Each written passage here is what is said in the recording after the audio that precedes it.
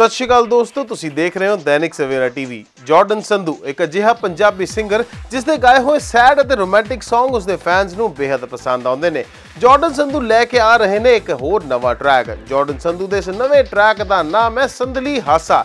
Jordan Sandhu ਨੇ ਆਪਣੇ ਇਸ ਨਵੇਂ ਟਰੈਕ ਦੀ ਇਨਫੋਰਮੇਸ਼ਨ ਆਪਣੇ ਸੋਸ਼ਲ ਮੀਡੀਆ ਅਕਾਊਂਟ ਦੇ ਉੱਤੇ ਸ਼ੇਅਰ ਕੀਤੀ ਹੈ। ਜਾਰਡਨ ਸੰਧੂ ਨੇ ਆਪਣੇ ਇਸ ਨਵੇਂ ਗਾਣੇ ਦੀ ਇਨਫੋਰਮੇਸ਼ਨ ਆਪਣੇ ਇੰਸਟਾਗ੍ਰam ਤੇ ਇਸ ਗਾਣੇ ਦੇ ਪੋਸਟਰ ਨੂੰ ਸ਼ੇਅਰ ਕਰਕੇ ਦਿੱਤੀ ਹੈ। ਇਸ ਪੋਸਟਰ ਨੂੰ ਸ਼ੇਅਰ ਕਰਦਿਆਂ ਜਾਰਡਨ ਨੇ ਲਿਖਿਆ ਨੈਕਸਟ ਗਾਣਾ ਸੰਦਲੀ ਹਾਸਾ 7 ਜੂਨ।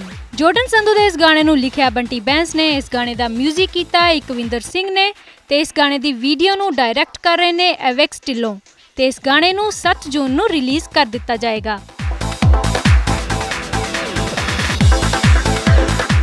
ਸੋ ਕਿਹੋ ਜੀ ਲੱਗੀ ਹੈ ਤੁਹਾਨੂੰ ਜਾਰਡਨ ਸੰਧੂ ਦੇ ਇਸ ਨਵੇਂ ਗਾਣੇ? ਸੰਦਲੇ ਹਾਸਾ ਦੀ ਫਰਸਟ ਲੁੱਕ ਤੇ ਕਿੰਨੀ ਕੁੜੀ ਹੈ ਤੁਹਾਨੂੰ ਜਾਰਡਨ ਸੰਧੂ ਦੇ ਇਸ ਗਾਣੇ ਦੀ? ਕਮੈਂਟ ਕਰਕੇ ਸਾਨੂੰ ਜ਼ਰੂਰ ਦੱਸੋ। ਨੀਚੇ ਦਿੱਤੇ ਗਏ ਕਮੈਂਟ ਬਾਕਸ ਵਿੱਚ ਤੇ ਨਵੇਂ ਤੇ ਲੇਟੈਸਟ ਅਪਡੇਟਸ ਲਈ ਤੁਸੀਂ ਜੁੜੇ ਰਹਿਣਾ ਦੈਨਿਕ ਸਵੇਰਾ ਟੀਵੀ ਦੇ ਨਾਲ। And don't forget to subscribe our YouTube channel Savera star talks